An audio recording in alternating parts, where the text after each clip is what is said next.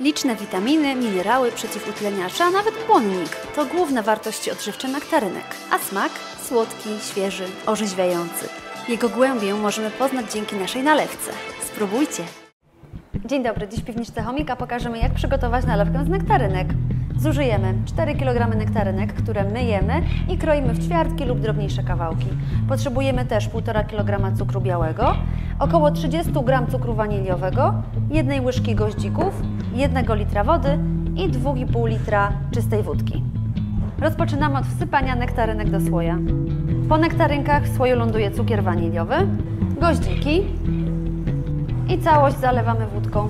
Teraz wystarczy tylko zamknąć słój i odstawić w ciepłe, nasłonecznione miejsce na miesiąc czasu. Po 30 dniach w litrze gorącej wody rozpuszczamy cukier, mieszamy i odstawiamy do wystudzenia. Owoce odcedzamy.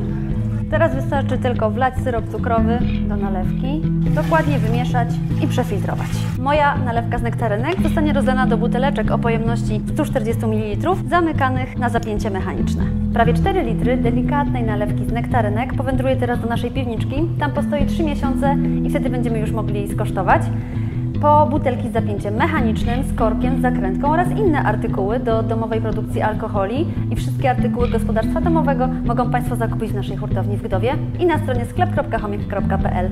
Serdecznie zapraszamy do odwiedzin naszej strony piwniczkachomika.pl i oglądania naszych filmów. Na zdrowie!